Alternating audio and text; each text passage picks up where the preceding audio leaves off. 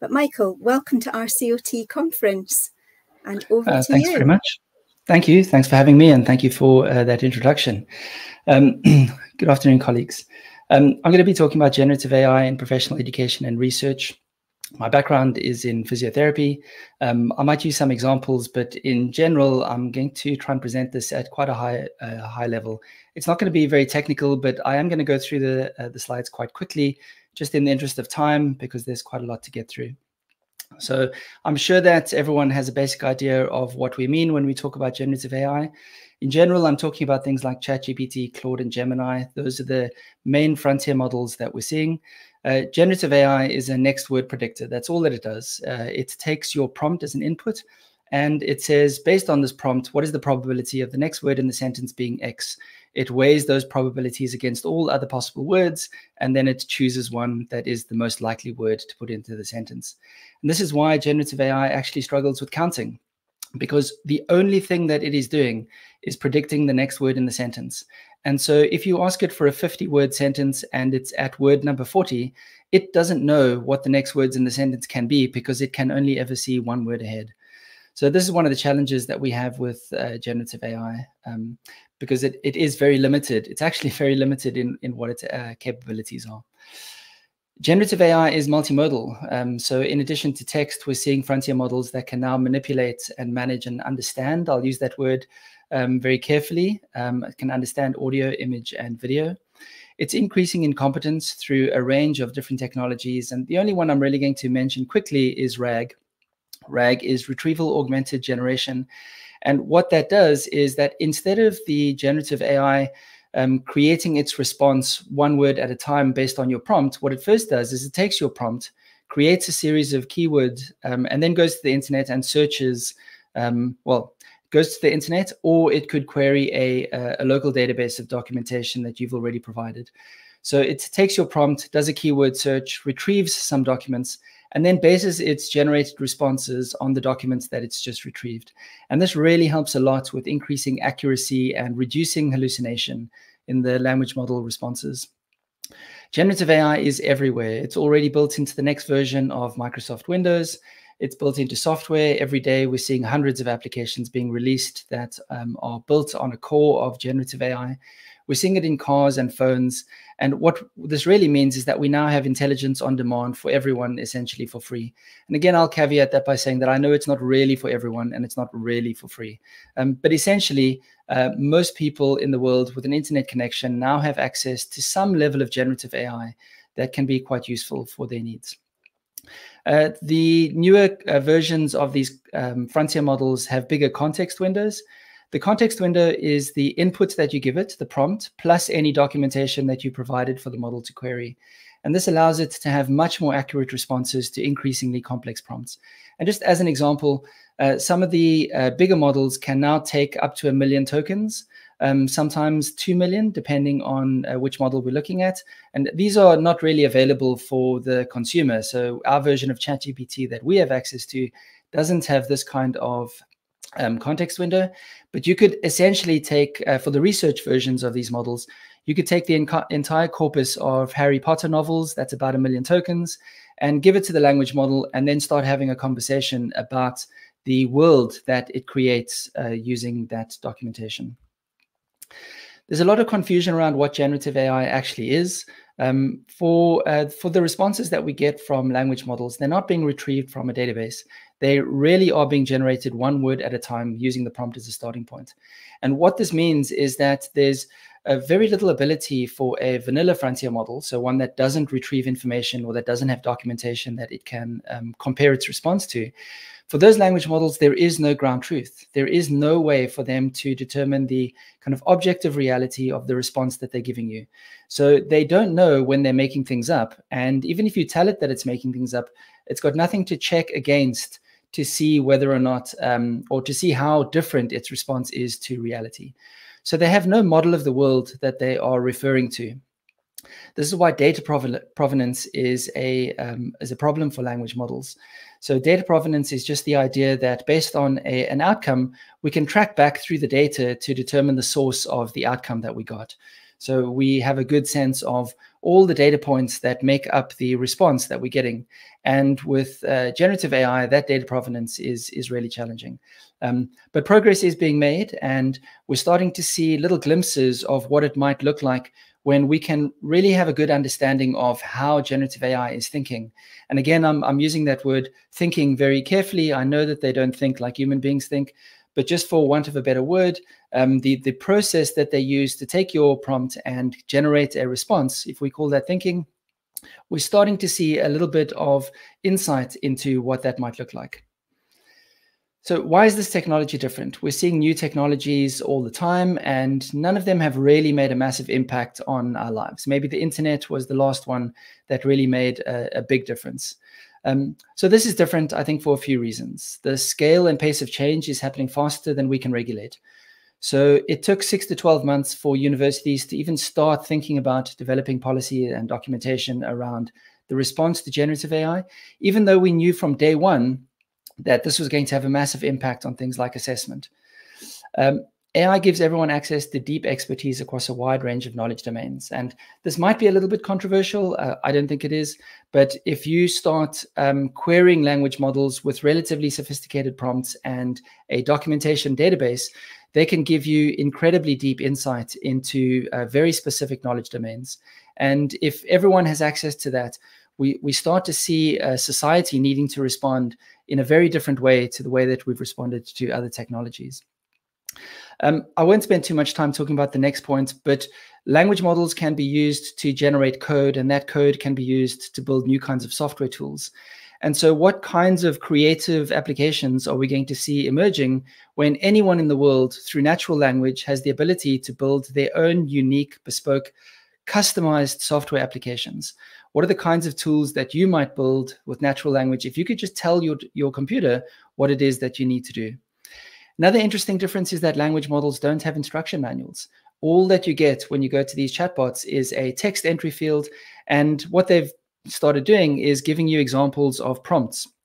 So all of them now have a little bit of text um, that give you an example of the kinds of things you might want to give the language models. Now, if your prompt looks like that, you're not going to get a very good response. Um, and this leads me on to the next point that I want to make is that um, unlike other pieces of technology, you and the language model are jointly responsible for the quality of the outputs that you get. So that contextual um, information that you provide the language model with is really important. If you ask a very simple question, you're going to get a very simple answer. And what this uh, leads to is a lot of people experimenting a little bit with language models asking quite simplistic questions, and then getting a response where they look at that and say, well, that's not uh, actually that interesting. It's not that impressive. Nothing to see here. Uh, let's move on. And I think once you start experimenting with language models and you start spending real time with them and you realize what they're capable of, then I think your, your opinion might change.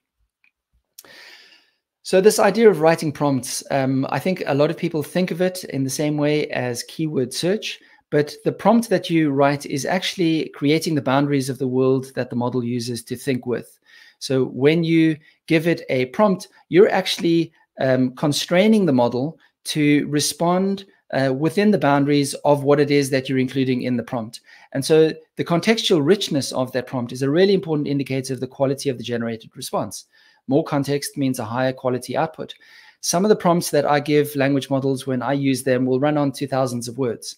Um, and so the more sophisticated that prompt is, the more contextual awareness you give the language model, the better the output that you're going to get. You'll find lots and lots of uh, prompting frameworks, um, you know, more than 20, 30 at the last time I looked. They all tend to say the same thing and they all revolve around this idea of context, contextual richness. The simplest heuristic that I found is role, goal, instruct. Um, essentially, you want to say to the language model, you are, you give it a role you give yourself uh, a role you give it a goal. I want uh, through this interaction i want to get this this is the outcome and then an instruction. And the instruction can be quite explicit. You can say in step one i want you to do this. In step two i want you to do this. In step three i want you to refer back to step one. So you can be quite sophisticated in the kinds of instructions that you can give language models I'm going to move on now. Uh, now that we've done an overview of generative AI in more general terms, what might it mean for assessment design? And I've seen a lot of people talking about um, AI resilient assessment tasks. I don't think that's the right way to to go, and I'll I'll talk about that in a little bit more detail um, uh, next. I think that AI detection is a lost cause. Um, there are uh, AI detection tools that are built into platforms like Turnitin. Um, they're not very good and they're very easy to defeat. So if a student wants to use AI to generate uh, responses to your assessment task, they are going to be able to do it. Less sophisticated users will get caught, um, but students who really want to cheat can, um, with very few tweaks, um, they can uh, get around the AI detection tools that already exist.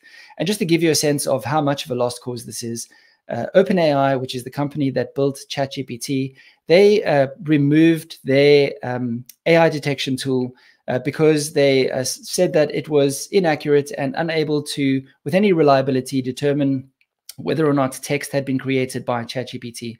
Now, if the company that builds ChatGPT is not able to determine when its own tool is being used to generate content, I'm not sure uh, how confident I would be in other companies that say that they can do that. I think that we should be looking at AI as a response to the standard assessment paradigm. So, the standard assessment paradigm is where we use a predefined set of items to infer claims about students' proficiency. The data used for these are sparse, we don't have much of that data, and student learning isn't the focus of the assessment. I think we can use AI to support student learning in ways that we've never really been able to do before. And if AI gives students superhuman abilities, I think that our assessments should change to evaluate superhuman outcomes. I don't think we should use assessment design to solve the AI problem. I think we should use AI to solve the assessment design problem. There are some challenges using AI in learning, teaching, and assessment the capabilities that are enabled by generative AI are mostly latent. So students and staff are really unable to take real advantage of the capabilities of language models. And there's three main reasons for this. We have a very kind of low digital and AI literacy skills in health professions, education, and in clinical practice.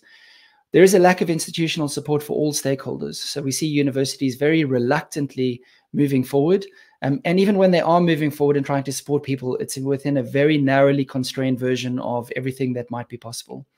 And that kind of leads me on to that last point, which is a very limited understanding of what is actually possible with the cutting edge uh, capabilities of frontier language models. I think assessment is uh, also something that takes place in an assessment, which is largely unchanged by generative AI. So we still see learning, teaching, and research happening in very traditional ways. And if we were going to start uh, integrating AI into our assessment tasks, we would necessarily have to see changes in uh, other areas of the higher education ecosystem. I'm going to very quickly go through some use cases for generative AI in the context of education and research. Um, I think the main heuristic that I would like to encourage is not to think of uh, generative AI as some kind of an oracle that has the answers to all of our questions. I think we should ask it for ideas rather than answers. And then this whole problem of hallucination just kind of evaporates, it goes away. Because when we want ideas, we actually want creative responses. And so, in that context, hallucination is a feature, not a bug. It's only when you ask it for accurate answers to questions that uh, it might be problematic. However, because of technologies like uh, retrieval augmented generation that's seeing a massive increase in the accuracy of responses, I don't think that uh, this heuristic is going to hold true for very long. I think very soon we're actually going to be able to ask it for uh, for the correct answers to questions that we care about. All right, so um, I think as a literature reviewer, um, I don't think that we are going to be doing literature reviews for that much longer. Um, I think we're already seeing massive advances in the ability of generative AI to do literature reviews. This is a task that I needed to complete uh, a couple of weeks ago. I needed to prepare a CPD activity for a group of clinicians in a, a local trust. I went to Google Scholar, downloaded five articles that just had key features and developing clinical reasoning as keywords. I just took the five with the highest citation counts. I gave it to Claude, which is uh, one of the kind of preferred language models that I use. I uploaded those five articles. I said, give me a summary, tell me why the approach has merit, why it might be useful for me, give me five, five key takeaways. and give me a set of principles for incorporating this concept into assessment tasks for the CPD activity. And the response was fantastic. Um, I could basically take the language model response and word for word just copy it into my planning document for the CPD activity. Now, I was very confident in the response that it gave me because I know something about the key features approach in developing clinical reasoning. If you're going to be doing this for an area where you have uh, kind of a more of a novice uh, interest or you have less understanding, then you might want to spend more time just checking the accuracy of its response. Um, I said that idea generation is something that this is really good at. Uh, just here's an example of something that I uh, uh, just gave in preparation for this lecture. Um, I'm interested in the topic of generative AI in occupational therapy. I'd like to do a PhD. Do you have any suggestions for research questions I could explore? Now, if the language model is connected to the internet, like the more recent version of ChatGPT, Google's Gemini is also connected to the internet. You could ask it a much more sophisticated prompt where you could say, go to Google Scholar, do a keyword search on these, have a look at the abstracts, and tell me where are the areas where I should focus my attention in um, uh, for this topic. There are um, uh, uh, specific uh, software platforms that you can use to do a similar kind of uh, question. You can experiment with tools like ResearchRabbit and Elicit. Um, those are companies that are building literature review into the their products. Um, and so those are things that you could try out that would really give you a much better response than just the basic language models. Um, it's really effective as a writer. I know there's a lot of concern around people using it for writing. This is an example that I suggest uh, where it might be really good. Um, I was writing a book chapter. I had three documents. Two of those documents were slightly different versions of the book chapter, and a third document was all the notes that I'd collected over about six months, um, many thousands of words. And I needed to harmonize all three documents into one. And so I could go to Claude, I gave it three files, and I said, I want you to take all of the information in these files and I want you to merge it into a single document. I said I wanted uh, you to take the role of an academic writer, but avoid stuffy, jargon filled writing. And so it was able to take all of those documents and merge them into a single file that I could then use as the baseline for the chapter that I eventually submitted. Data an analysis. Um, I think we are very quickly going to get to the end of human beings doing any kind of qualitative data analysis. We've already outsourced all of our quantitative data analysis to tools like SPSS. ATLAS.ti and NVivo are already building language models into the next version of their uh, software. And I don't think it's going to be all that long before we upload transcripts and the language model will just do all of the data analysis for us. Um, Having said that, we're not there yet. I would say at this point, I would use a language model to kind of double check your data analysis if you are doing qualitative data analysis. This was an example of a transcript that I took from my PhD that was anonymized. I uploaded it to a language model and I just said, do a th thematic analysis. The responses that, that, I've given here are a very brief summary. Um, I actually asked it to pull out relevant quotes from the transcript to support each theme and to give an explanation of what the theme was, and then to give me relationships between themes. And it did a fantastic job. It's very good at summarizing documentation. So I use it every day. Um, summarize this article, summarize this report. I often will say, explain this article to me. Um, it's very good at using metaphor. So you might say, explain this article to me uh, using the metaphor of Formula One racing, photography, it doesn't matter. Um, anything that you give it, it will be able to give you a response. Um, I use it for summarizing meeting transcripts where uh, I don't attend a meeting. Now, I do this in Copilot, which is a kind of more private version of ChatGPT. It uses the same backend, but we have an institutional license, which means that the transcripts and the interactions never leave the university servers. They stay um, on, on our campus. And so we can uh, use Copilot to have kind of more sensitive interactions with language models where we don't want the documentation to be sent to the company. Uh, the last one is personas. Uh, language models can very realistic portray patients for OT education scenarios. Um, one of the examples that we give our students is we say you are a, so we tell the language model you are a specific type of patient. We can give it very structured prompts. Uh, so we can say you're a stroke survivor, you've lost your husband, you live alone, your kids are far away, blah, blah, blah. And we can take this prompt, And every student in the class can upload the same prompt to the language model. And every student uh, ends up having a different conversation with the language model. We can take those um, transcripts of those conversations and we can start doing very detailed analysis to look at the development of communication skills, empathy, and critical thinking um, of the students as part of those interactions with language model personas. So wrapping up, just looking forward on the horizon, generative AI enables customizable, contextually rich personas that are high-level experts in a wide range of disciplines that we interact with through natural language. Now, if you pass that, pause that sentence, you'll see that there's quite a lot going on there. But I think very soon, this is the way that we will start thinking about language models. We're seeing open source models that are increasing in complexity and scale. Um, most of them now exceed GPT 3.5 level capabilities, which means that they are very sophisticated. They're available for free, and a lot of them can run on small devices like laptops. This is going to see an expo explosion of creativity and diversity, um, and it will avoid lock in to some of the bigger um, uh, companies like OpenAI and Google. I mentioned before that I think this gives everyone access to expertise on demand. What is society going to look like when everyone has access to an occupational therapist, a physiotherapist, a doctor, a lawyer? I think very soon we're going to start seeing language models that language models that are agents acting on our intentions, uh, where we are essentially project managers that manage high-level objectives, and the agents then go off and recruit fine-tuned models that will achieve subcomponents of the projects that we're working on. Um, I suggest to everyone that they um, use AI to help you do better work rather than to ask it to do your work.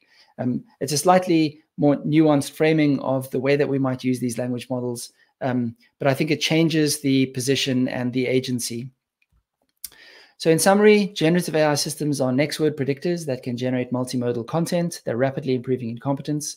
They provide abundant expertise, creative ideation through natural language conversations, although biases and limitations do exist. There's a wide range of use cases across all aspects of research and professional learning. There are ethical implications around authorship, originality, and transparency. Um, and evaluating outputs remains critically important. And I caveat that by saying for now, because I'm not convinced that that's going to be uh, all that important moving forward. I suspect we're very soon at a point where we will trust these systems in the same way that we've come to trust things like Google Maps. And that is it. I apologize that I went through everything so quickly. I just felt like I needed to, uh, we needed to cover a lot. Thank you so much, Michael. Wow, my head is just exploding. Um, I love it that you're really challenging us to think differently um, around how we approach the use of AI and, you know, that it can give us, as you said, superhuman abilities.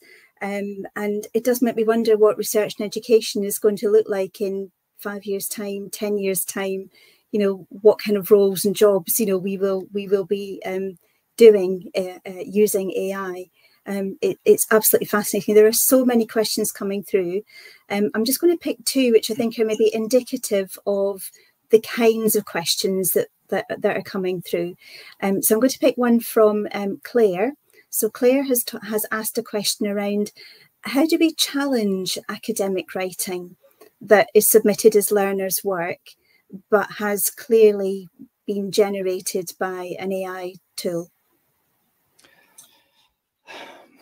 Um, this is a difficult one.